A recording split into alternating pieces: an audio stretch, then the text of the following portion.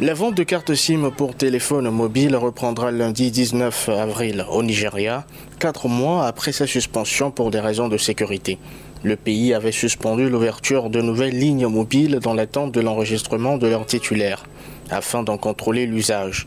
Les opérateurs de téléphonie mobile avaient reçu pour instruction de lier toute carte SIM à un numéro national d'identité afin d'en contrôler les titulaires.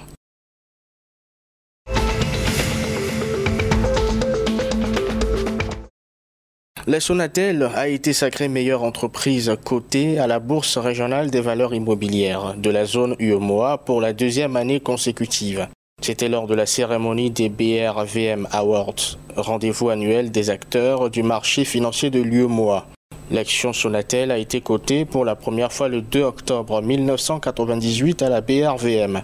Selon un communiqué, la capitalisation boursière de Sonatel se chiffrait au 31 décembre 2019 à 1695 milliards de francs CFA, soit 35% de la capitalisation totale des 46 sociétés cotées à Abidjan.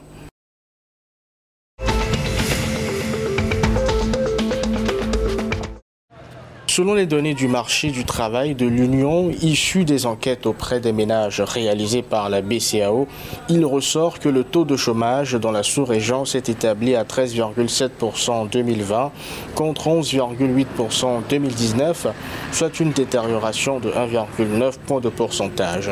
Cette expansion du chômage pourrait s'expliquer par les mesures de restriction prises par les États membres pour lutter contre la pandémie. Les femmes sont plus affectées par ce phénomène avec un taux de chômage estimé à 17,8% en 2020.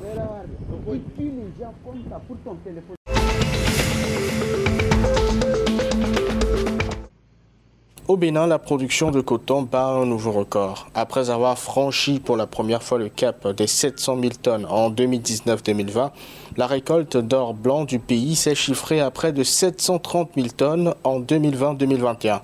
C'est ce qu'a annoncé Mathieu Adjovi, président de l'Association interprofessionnelle du coton. Selon le responsable, cette performance historique a été réalisée en cultivant la fibre sur une surface quasi stable par rapport à la campagne précédente.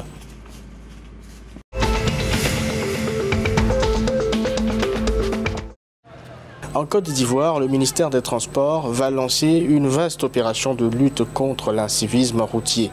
C'est ce qui ressort d'une réunion extraordinaire de la Commission nationale de la sécurité routière. Cette opération va consister à réprimer systématiquement les cas de conduite sans visite technique automobile, de conduite en état d'ébriété, d'excès de vitesse, de mauvais état mécanique du véhicule et de détention de faux documents de transport. L'opération de répression sera précédée et appuyée par une campagne médiatique qui débutera dans les tout prochains jours.